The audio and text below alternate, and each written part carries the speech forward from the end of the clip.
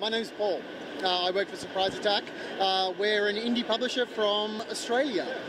Uh, we're showing a bunch of games here at PAX East. Uh, we're on a special booth, which is PAX Australia. So our thought was we could bring some games from PAX Australia to the people of Boston for PAX East. So this game is Western Press. It looks like a fighting kind of game.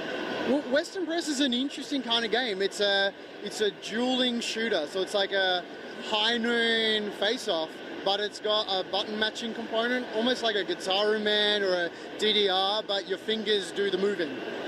Yeah, it's got a really nice uh, old school pixel art style. Characters have got a lot of flavour to them. Uh, but essentially, what you're going to do is play a best of three rounds, and the person who matches the buttons the fastest and the closest gets a shot off on the other person. Right, so this next one is Mutant Alien Assault. Well, it's, it's like the Super. Do you call it Super NES, Super Famicom? Which one's one in your country? Super NES? Uh, Super NES. Super NES. Well, it's Super Mutant Alien Assault.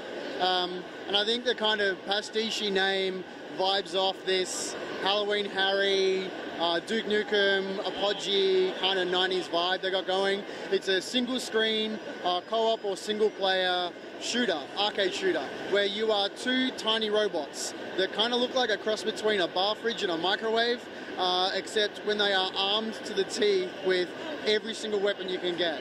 Uh, ammunition is finite, so you need to make sure you play as well and effectively as possible.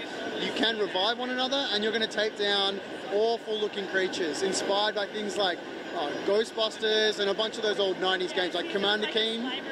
Yeah, it's really awesome. The big dogs look like the uh, the Zuul dogs from Ghostbusters. Um, super frantic. It's got a really thumping soundtrack.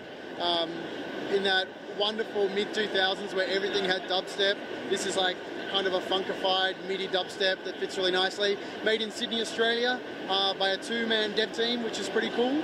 Uh, it's uh, currently available on Steam, and it's going to be coming to consoles as well.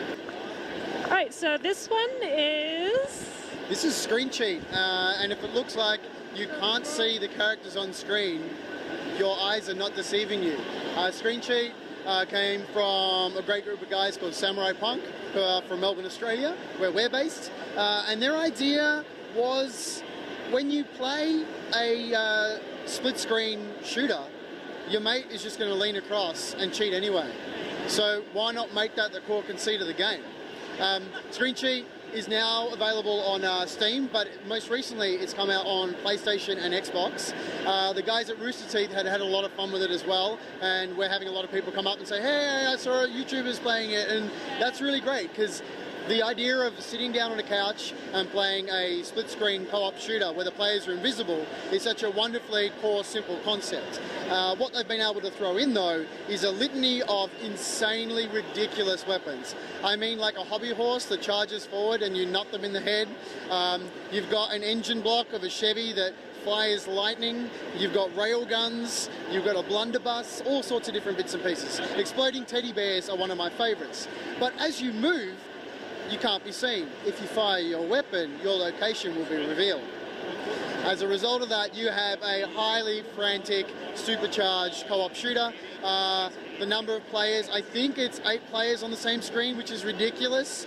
Uh, it's been really, really popular and really, really well received.